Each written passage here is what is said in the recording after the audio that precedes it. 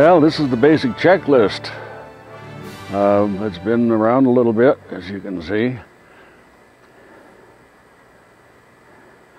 Normally these reside in your G suit because it doesn't take too long before pretty much everything that you need to know in the cockpit for pre-flight is uh, taken care of automatically. You just know what's there. And you just take a peek down there, make sure that it was clear. Then you're looking at the, the front gear. Mainly, you want to look, see, make sure there's no leaks down there on that piston. Well, that's the pitot tube. And you'd want to make sure this was removed. Little hole there. When you're flying through the air, the uh, air goes in there and it back here it measures the pressure and that gives you your true airspeed. That is a CBU unit, cluster bomb unit. Um, bunch of little bomblets in there.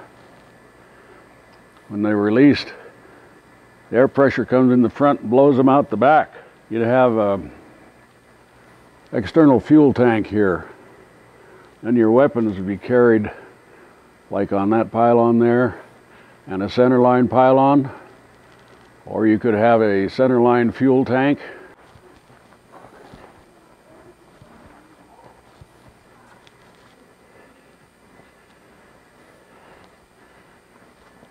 And you get a look under. While we were on the other side there, we should have been checking that, that strut on that uh, landing gear for leaks. Looking at the tire.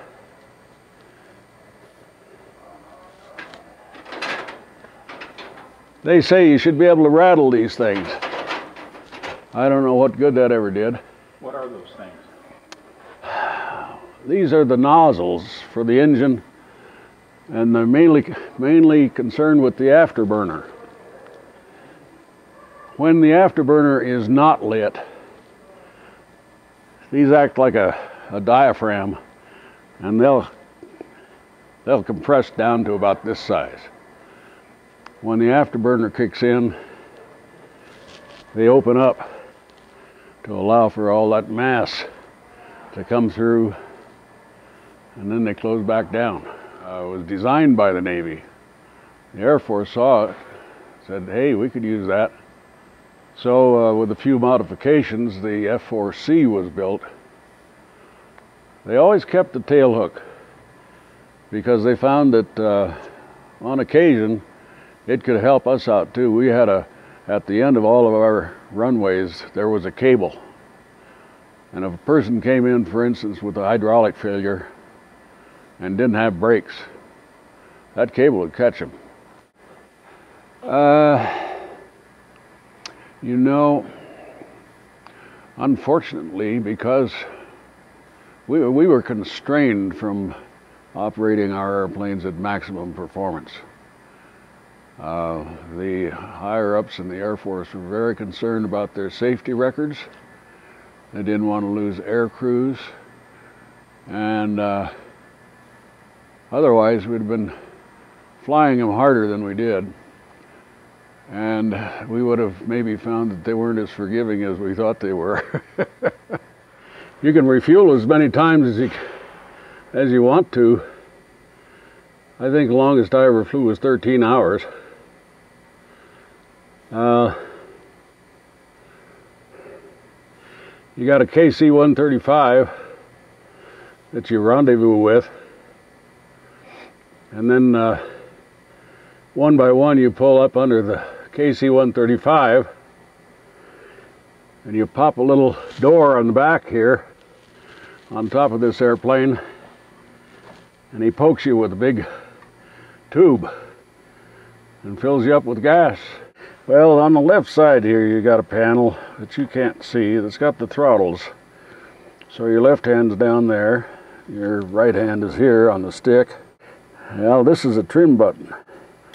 It controls subtle changes in your flight uh, um, your ailerons, your elevator. As your speed changes through the air, so the dynamics shift on the airplane as your weight changes. And you control it all with that button. It's going a lot, it's going almost all the time, like this. Just trying to keep that, all the pressure's off the stick. If it's well trimmed, you can take your hand off the stick and it'll fly straight and level. Here's your radar screen. Uh, you uh, have a screen about this big. The guy in the back seat's got one about like this. When he acquires a target back there, you'll see everything up here on this screen, along with some other information regarding are you in parameters for the weapon that you have selected whether it be a sparrow or a sidewinder, and um, where the target is, what your closure rate is. Little dot's going to guide you. And if it's in the, within this circle, you're cleared to fire. Underneath, if you can see it right there, there's a little projector. That projector shines up onto this glass, and to you, it appears to be a circle. And in the circle is a, in the center, that is a dot. And that's an aim point. That's used to aim your guns, aim your rockets, aim your bombs. Here's your bomb button. And in front of this is a trigger for the gun. Now if you're refueling, this button will give you an automatic breakaway if something goes wrong or you're not comfortable or whatever, and you want to release, use this one. That's the, got the wonderful name. It's called the guillotine. Let's say you're sitting on the ground, you're all strapped in, and there's a mortar attack, and you want to get out in a hurry. The first thing you do is you grab this handle, pull it up. It cuts all the straps. You're you got leg straps on, you got a lap belt, you got shoulder harness for your parachute. All of those are cut. If your canopy is closed, you pull, the canopy will blow off, you stand up and walk out of the airplane. There are two ways to eject from this airplane. The first one's right here between your legs. There's, a, see that yellow handle? Okay, in a high G situation where it's hard to get your hands up, you reach down, you pull that, and you'll eject. Now, conversely, let's say you're at high altitude, high speed, going straight and level. You reach back here, grab your handles, pull forward and down, and uh, it pulls a, a screen down over your face mask to this position and you give it a final pull and it will eject you. And you have the virtue of having an extra screen in front of your face for high-speed ejection. The greatest lesson I ever had in flying was one day we were starting basic instruments and of course I was chasing all the instruments and my instructor said, Fletcher, stop. Don't move the stick. And I stopped. And all the instruments stopped. now that that's a lesson. A beautiful lesson. When you when you when you roll out of the chocks in an F4, it's like a you're in a big bundle of muscle. So by the time you get into a combat situation, you really don't think too much about what the problems are as far as am I going to die or not. That's uh, somewhere else. You got a job to do, and um, in a way, uh, as everybody knows, as a flyer, you're relatively detached from the environment, uh, the environment where your weapons land, for instance. Um, it becomes a little more personal when the anti-aircraft uh, guns open up and you're going down on your bomb run and pulling out on your bomb run. And all the time you get these little flashes black smoke going every place uh, it's not too bad there but when it gets up here you got problem well that's about as close as you get and you can't hear it you just see it so what we would do we'd fly up there with a load of, of bombs and missiles, like 10 750 pound bombs, missiles. We'd go up and we'd find our target and we'd bomb it. And then we'd go up and orbit.